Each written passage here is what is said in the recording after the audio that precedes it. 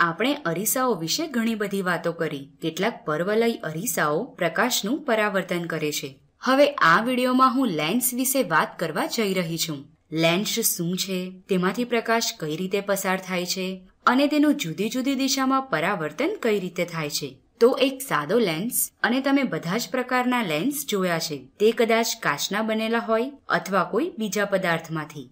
સૌપ્રથમ હું બહિર્મુખ લેન્સ વિશે વાત કરવા જઈ રહી છું. અંતર્મુખ એટલે અંદરની તરફ ખુલે છે, જેમ કે ગુફા, અને બહિર્મુખ એટલે બહારની તરફ ખુલે છે. બહિર્મુખ લેન્સ કે જેમાં સંમિતતા જોવા મળે છે.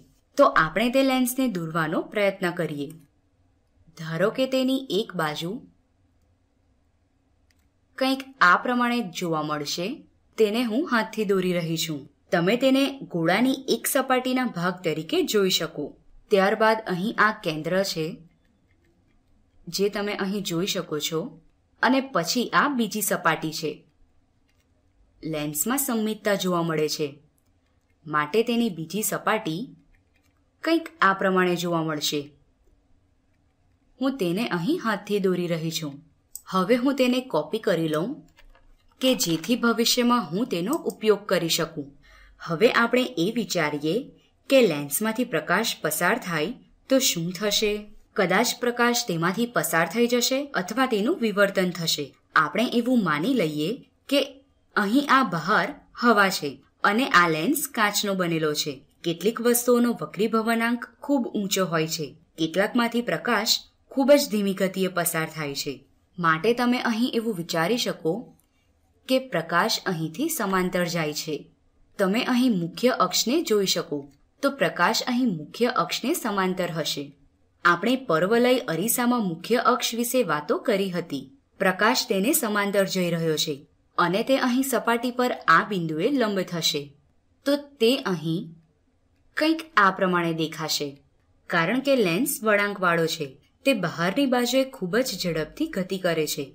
માટે જમણી બાજુ બહારની તરફ તે લંબાઈમાં થોડો વધારે હશે. અથવા પ્રકાશની સૌથી ઉપર બાજુ, જો તમે અહીં કોઈ ગાડી જેવી વસ્તુની કલ્પના કરો, તો નીચેની બાજુ અથવા નીચેના પૈંડા કરતા તે બાજુ લેન્સની બહાર થોડી વધારે લાંબી હશે. અથવા આપણે પ્રકાશની દિશામાં જઈએ, તો ગાડીની ડાબી બાજુએ અહીં આપણે આ ડાબી બાજુના પૈંડા જોઈ શકીએ અને અહીં જમણી બાજુના પૈંડા જોઈ શકીએ. ડાબી બાજુના પૈંડાઓની બહાર રહેવાની શક્યતા અને થોડું વધારે ઝડપથી ગતિ કરવાની શક્યતા વધારે છે. આપણે અહીં લંબ દોરીએ, તો તે નીચેની તરફ આ પ્રમાણે વક્રીભવન પામશે ફરી એક વખત, તમે ઝડપી માધ્યમમાંથી હવાના માધ્યમમાં પસાર થાવ છો. હું અહીં ફરીથી એક લંબ દોરીશ અને કિરણની ડાબી બાજુથી તે સૌથી પહેલા બહાર નીકળશે. આ કિરણની ડાબી બાજુ અથવા આ પૈંડાની ડાબી બાજુ સૌથી પહેલા બહાર આવશે. અથવા તો કહી શકાય કે ઉપરના બધા જ પૈંડાઓ સૌ પ્રથમ બહાર આવશે. તેઓ વધુ ઝડપથી ગતિ કરશે. તો હવે નીચેની તરફ તે કંઈક આ રીતે દેખાશે અને પ્રકાશનું કિરણ કંઈક આવું હોવું જોઈએ. હવે અહીં આ જગ્યાએ કોઈ પણ એક બિંદુ લઈએ કે જ્યાં હું એક કિરણ લઉં છું, જે આ મુખ્ય અક્ષને સમાંતર થશે અને લેન્સમાંથી વક્રીભવન પામીને તે એક બીજા બિંદુએ મળશે. અહીં હું એક પ્રકાશનું કિરણ લઈશ, જે કંઈક આ પ્રમાણે વક્રીભવન પામશે અને પછી અહીં બીજા બિંદુએ ભેગા થશે. હવે આપણે એક બીજું કિરણ લઈએ, જે મુખ્ય અક્ષને સમાંતર છે. તે થોડું ઓછું વક્રીભવન પામશે અને પછી ફરીથી તે જ બિંદુએ ભેગું થશે. તમે અનુમાન કરી શકો કે હું અહીં શું કહેવા જઈ રહી છું.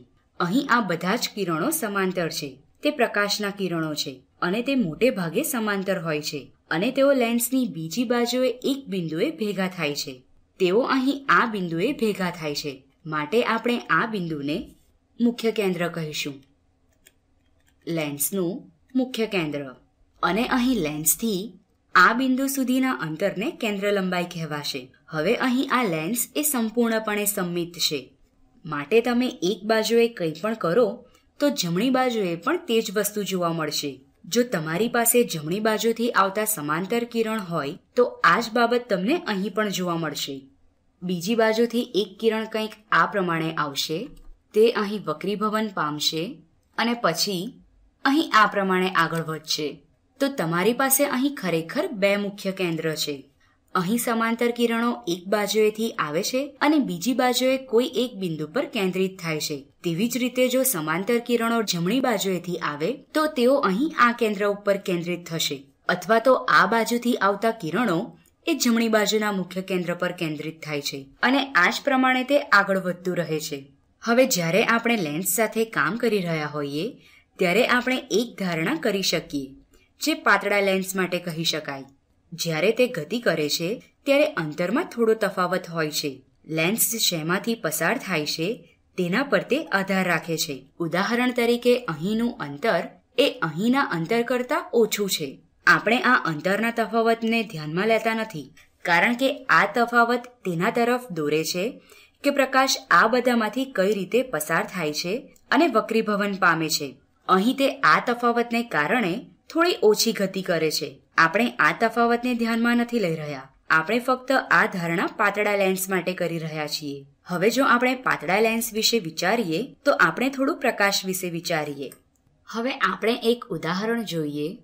પ્રકાશના કિરણો જ્યારે લેન્સમાંથી બહાર નીકળે છે ત્યારે પોતાની દિશામાં સામાન્ય રીતે વક્રીભવન પામે છે. માટે હું અહીં એક સાદો લેન્સ લઈશ, જે કંઈક આ પ્રમાણે દેખાશે. અને લેન્સ એ સંમિતતા ધરાવે છે, જે કંઈક આ પ્રમાણેનો હશે.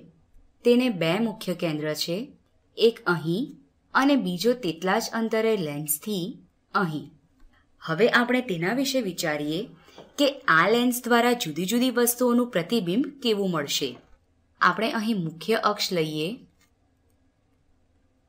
જેના પર બે મુખ્ય કેન્દ્ર આવેલા છે અને વસ્તુને કેન્દ્ર લંબાઈથી થોડી દૂર મૂકીએ. યાદ રાખો કે તમે અહીંથી કોઈ પણ બિંદુ લઈ શકો છો. પ્રકાશ તે દરેક બિંદુમાંથી નીકળશે. પરંતુ આપણે અહીં ટોચનું બિંદુ પસંદ કરીએ અને તેમાંથી મુખ્ય અક્ષને સમાંતર એવું એક કિરણ લઈએ. અને વક્રીભવન પામ્યા બાદ તે કંઈક આવું દેખાશે. હવે આપણે પ્રકાશનું બીજું કિરણ તે વસ્તુની ટોચ પરથી લઈએ, જે મુખ્ય કેન્દ્રમાંથી પસાર થશે અને વક્રીભવન પામ્યા બાદ લેન્સની બીજી બાજુએ સમાંતર જશે. આ પ્રમાણે આશા રાખું છું કે આ તમને સમજાયું હશે. આ એક પ્રકારની સંમિતતા છે.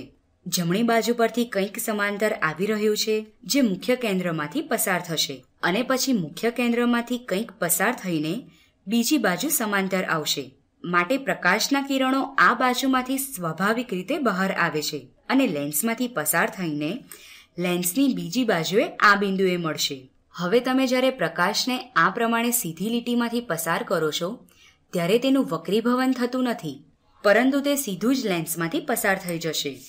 અને બીજી બાજુએ તેનું પ્રતિબિંબ કંઈક આ પ્રમાણે દેખાશે.